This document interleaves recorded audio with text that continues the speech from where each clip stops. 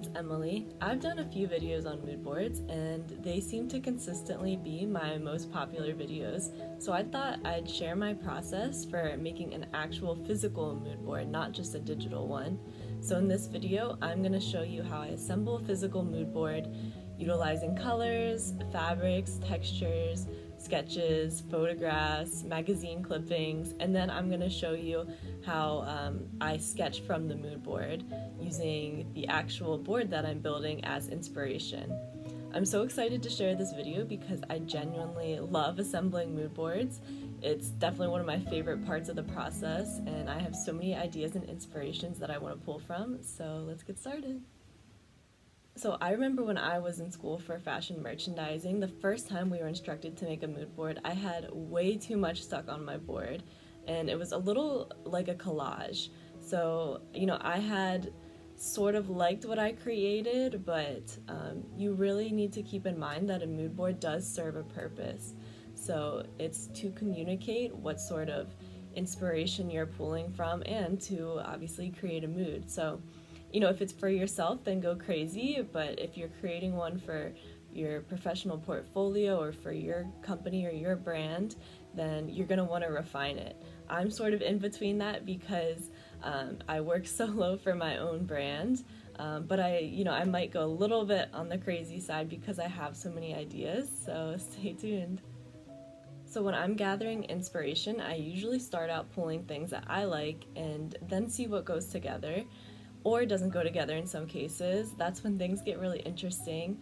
So, you know, combining two things that don't necessarily go together is what really helps create something new and innovative. So, I'm going to take you guys as I search for my inspiration, looking through magazines, you know, maybe going on a walk and taking pictures. I like to maybe start with a color scheme. Um, so, going to get some paint chips, seeing what colors go together and what I'm really liking and feeling for a season. And also like swatching fabrics and you know I'm gonna also show you as I go through some magazine clippings and what I pick out and then how I'm organizing it on the board. You know there really aren't any specific rules, it's fashion so you can do what you want but just always keep in mind that you want to communicate something to your audience and you want that to be clear.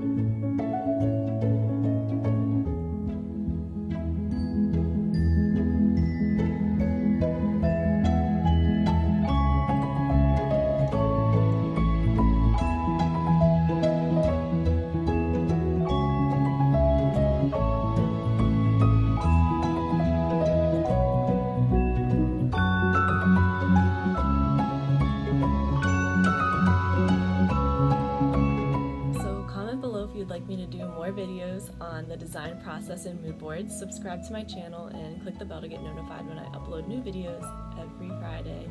Thanks for watching, guys, and have a great day.